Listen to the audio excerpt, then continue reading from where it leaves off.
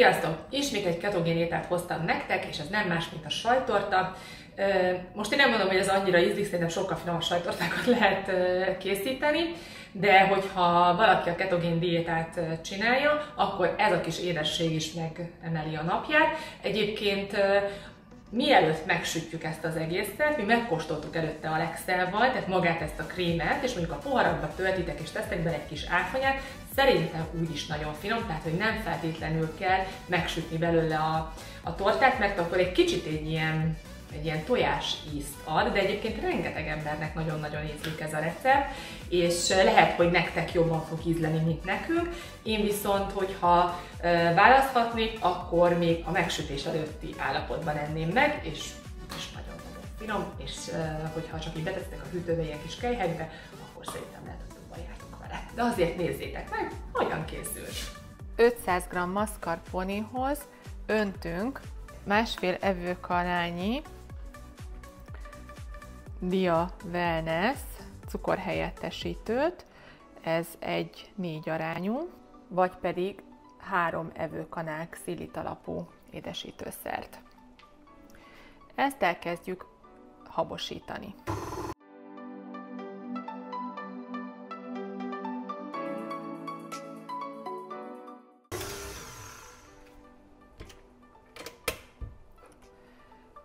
Ehhez hozzáteszünk egy pici vanília aromát, vagy egy vanília rúdnak a kikapart belsejét.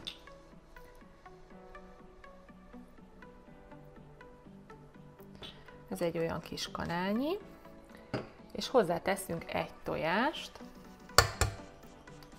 ez egy emmes tojás, és tovább keverjük.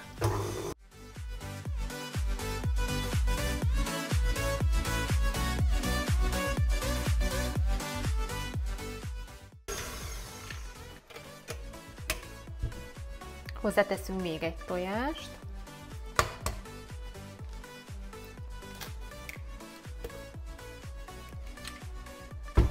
Ezzel is tovább kavarjuk.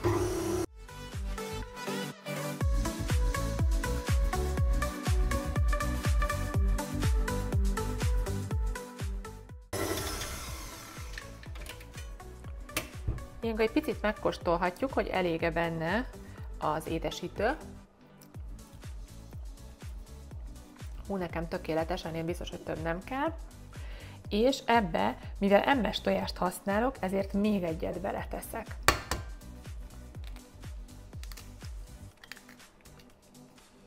Hát ezt már meg se kell sütni, mert annyira finom magában is. Csak vicceltem, természetesen meg fogom sütni, hiszen ez egy sajtorta lesz, és ezzel a harmadik tojással is összekeverjük egy-két percig, és utána el is készült a tészta alapunk.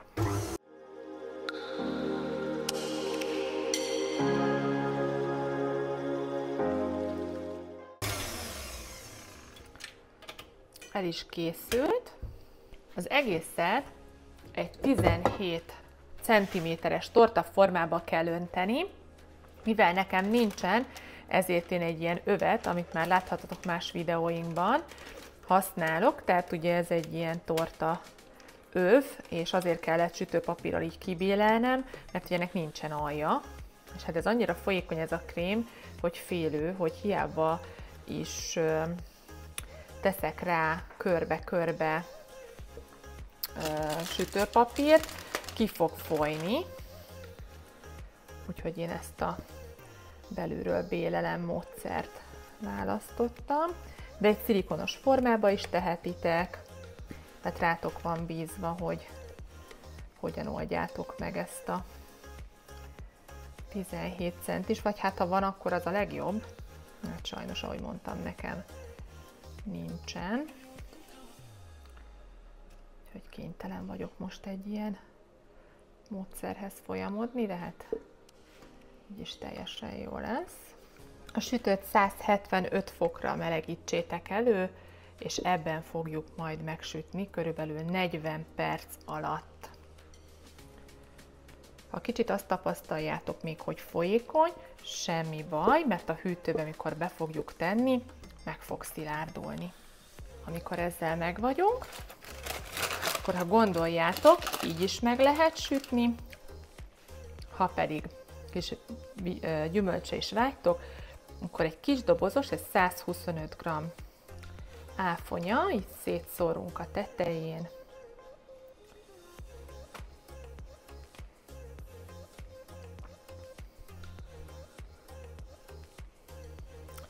Hát még annyira se lesz lehet szükség, de majd ugye kiderül.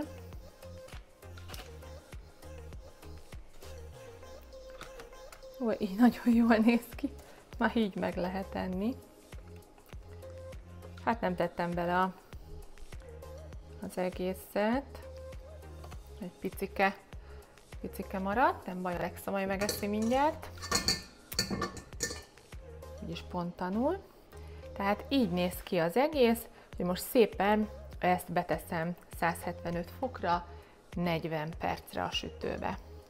40 perc elteltével tovább alufólia alá tettem, és további 60 percig sütöttem.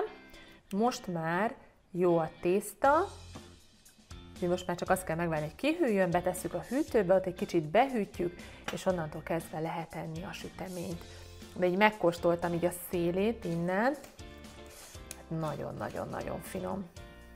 Érdemes kipróbálni. Köszönöm szépen, hogy megnéztétek ezt a videót, és lájkoljatok minket, kövessetek, iratkozzatok fel. Kommentben várom tőletek, hogyha van valami klassz kis diétás, vagy ketogén diétás süteményetek, ugye, ami mindenképpen beilleszthető vagy a ketogén diétába, vagy egy fogyókúrás étrendben. Tudtok minket követni Budapesti Família néven mind a Facebookon, mind az Instagramon, tudtok nekünk levelet írni a lent látható levelezési és e-mail címünkre, és természetesen találkozni fogunk egy következő videóban. Sziasztok!